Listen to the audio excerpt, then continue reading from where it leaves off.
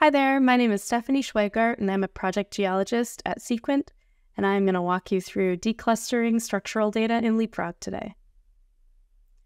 With so much closely spaced structural data, now is a great time to demonstrate this declustering tool in Leapfrog. Some methods of measuring planar rock features can produce overwhelmingly large datasets. There are automatic tools that can oversample structures either by scanning the same feature multiple times or simply by sampling at intervals that are very small considering the regional scale. The declustering tool in Leapfrog makes it easier to handle these large, complex structural datasets. Any planar structural dataset can be thinned to a manageable size while retaining representative samples across the dataset based on range and angle tolerance parameters that you can set.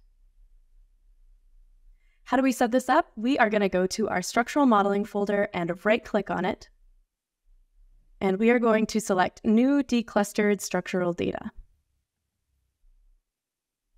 You're going to change the source table to whichever structures you would like to decluster. And then we just need to set up these parameters. The first is the spatial search radius. Spatial search radius defines the distance over which measurements are grouped into clusters. This distance is whatever units your project is in, so in this case, it is one meter. One representative measurement is kept per cluster. So in this case, in one meter, we will get one representative sample.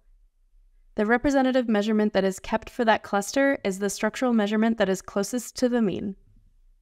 And the angular tolerance, the parameter beneath that, is used to discard outliers from the calculation of the mean. So in this case, I've said anything outside of 5 degrees will be discarded from the calculation of the mean. And then we have the priority column over here. If a priority column is selected, this will change the weighting of each measurement when calculating the mean, preferentially keeping measurements with a higher level of confidence. To be used, the confidence or priority column must be imported as numeric data type.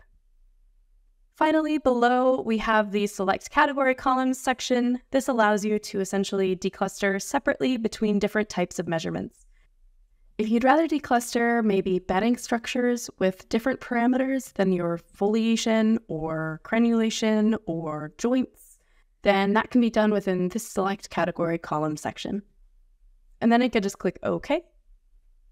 And that's going to produce my declustered structures. I pull that into the scene. And I flicker on and off my structures. I can see the difference between my declustered dataset and my original dataset. We can see here that this allows me to remove redundant measurements or noisy outliers from my structural data. Another thing just to note about these declustered structures is that if you click the little arrow to expand the declustered table in the project tree, you'll notice our structures table is directly hyperlinked here. Clicking on the hyperlink will direct you back to the source data table, making this declustering tool very traceable and very auditable. And if I'm viewing my original structural data table in the scene, I can navigate to the Properties panel in the bottom right corner. In the Query Filter menu, you'll notice that I can view my declustered data as a query upon my structural data table, since the declustering tool is just querying our source table anyways.